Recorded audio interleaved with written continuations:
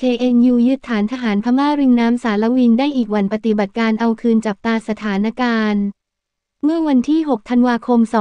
2565 แหล่งข่าวด้านความมั่นคงชายแดนไทยพม่า เปิดเผยว่าตั้งแต่ช่วงเช้าของวันเดียวกันนี้ได้เกิดการสู้รบบริเวณชายแดนไทยพม่า ด้านแม่น้ำสารวินจอ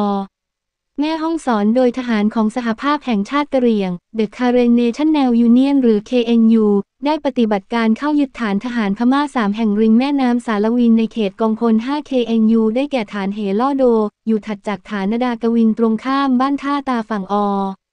แม่เสรียงฐานอหอยะตักโขโจอยู่เยื้องตรงข้ามบ้านศพเมยตอ แม่สามแลบอศพเมยและฐานอหอยะเคปูซึ่งเป็นฐานยุทธศาสตร์ของกองทัพพม่า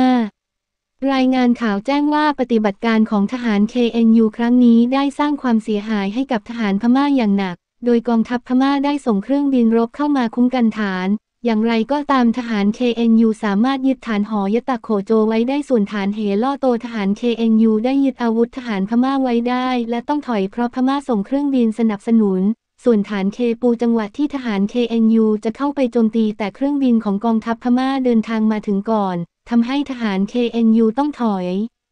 ทั้งนี้การสู้รบระหว่าง KNU และกองทัพพม่าได้รุนแรงขึ้นตั้งแต่เมื่อต้นปีก่อนภายหลังจากที่ KNU ได้ขอให้กองทัพพม่าถอนทหารทั้งหมดออกจากพื้นที่ริมแม่น้ำสารวีนและเขตการดูแลของ KNU กองพล 5 แต่กองทัพพม่ายังคงส่งทหารเข้าประจำการตามฐานต่างๆ ริมแม่น้ำสารวีนทำให้ KNU ตัดเส้นทางลำเลียงการจัดส่งเสบียงและอาวุธ จนในที่สุดทหารพม่าได้ส่งข้าว 700 กระสอบ โดยการรับรู้ของทหารไทยบริเวณชายแดนไทยบริเวณบ้านแม่สามแลบ แต่เมื่อเป็นข่าวโด่งดังทำให้ต้องขนข้าวชุดดังกล่าวกลับไป